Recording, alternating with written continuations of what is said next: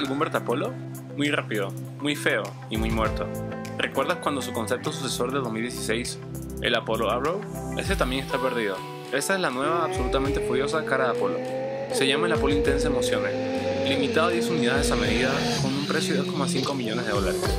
El Apollo Intense Emociones es un superdeportivo que está aquí para lanzar al Apollo a la escena de las boutiques exóticas.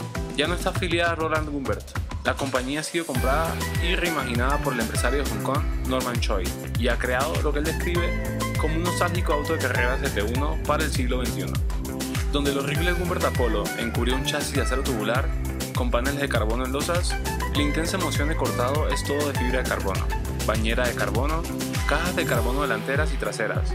Todo el chasis solo pesa 105 kilogramos y paneles de carbono en la parte superior de la carrocería, del mismo proveedor que Pagani. Todo el auto pesa solamente 1250 kilogramos y gracias a unos monumentales 1350 kilogramos de carga aerodinámica neta a 300 km por hora, el Apollo Intense Emotion puede utilizar el mismo truco que el viejo difunto Gumbert.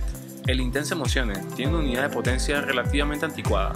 La fuerza motriz proviene de un V12 de 6,3 litros montado en el centro, que impulsa a las ruedas traseras a través de una caja de cambio neumática Hewland de 6 velocidades. El V12 se aspira de forma natural y no recibe ningún impulso eléctrico o híbrido a diferencia de cierto superauto italiano que podríamos denominar, que también tiene el V12 de 6,3 litros que desarrolla exactamente 769 caballos.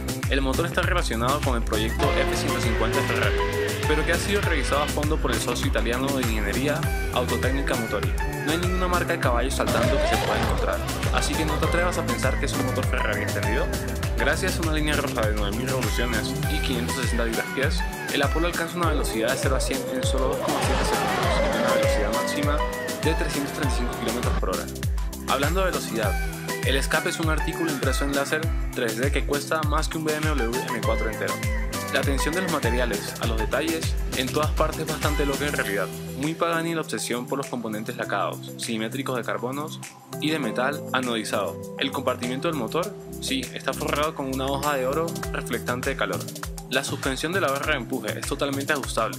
Hay una toma de aire incorporada. Los asientos son cojines pegados directamente a la bañera de carbono. Y el volante y la caja de pedales se pueden ajustar para satisfacer las necesidades del conductor. El Intensa Emoción se supone que es un superdeportivo que cualquier persona a través de las generaciones puede apreciar. La compañía pretende destilar lo que ha aprendido en un auto ligeramente más barato y legal de la calle, con la misma filosofía de que el entusiasmo y la pasión son antes que el rendimiento. Solo esperamos que los afortunados propietarios salgan y utilicen estas cosas. Merecen ser vistos, conducidos y escuchados.